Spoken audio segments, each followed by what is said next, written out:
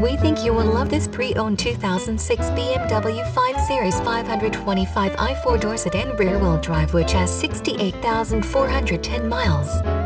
It comes fully equipped with PW sunroof and seats deep tinted windows, base car, and many other features.